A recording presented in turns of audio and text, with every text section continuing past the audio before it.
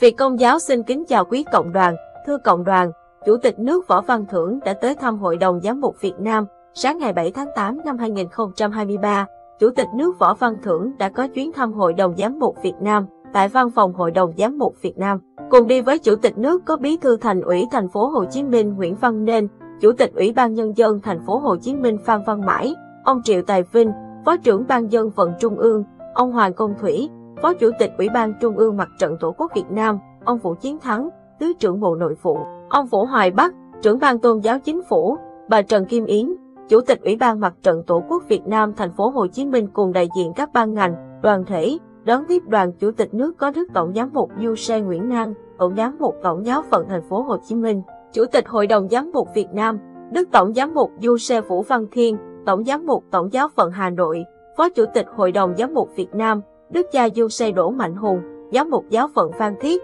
Tổng thư ký Hội đồng giám mục Việt Nam, cùng một số vị giám mục, các linh mục và nữ tu. Tại cuộc gặp gỡ, Chủ tịch nước Võ Văn Thưởng gửi lời chúc Đức Tổng giám mục Du Sê Nguyễn Năng, Hội đồng giám mục Việt Nam, các vị giám mục, linh mục, tu sĩ dồi dào sức khỏe, bình an, tràn đầy thánh đức. Qua các vị giám mục, Chủ tịch nước cũng chuyển lời chúc đến toàn thể cộng đồng tín hữu công giáo cả nước sức khỏe, an lành, nhiều hồng ân. Chủ tịch nước Võ Văn Thưởng đã thông tin về những kết quả đạt được trong cuộc gặp với Đức Giáo hoàng Francisco và Đức Hồng Y Pietro Parolin. Quốc vụ Khanh Tòa Thánh ngày 27 tháng 7 năm 2023 với sự kiện Việt Nam và Tòa Thánh Vatican đã đạt thỏa thuận nâng cấp quan hệ ngoại giao. Đáp từ, Đức Tổng giám mục Du xe Nguyễn Năng, Chủ tịch Hội đồng Giám mục Việt Nam, ngỏ lời cảm ơn Chủ tịch nước và phái đoàn đã đến thăm Hội đồng Giám mục Việt Nam, đồng thời mang đến tin vui về kết quả tốt đẹp chuyến công tác tại Vatican. Đức Tổng Du Xe bày tỏ niềm vui mừng trước mối quan hệ ngoại giao tiến triển tốt đẹp giữa Tòa Thánh và Việt Nam.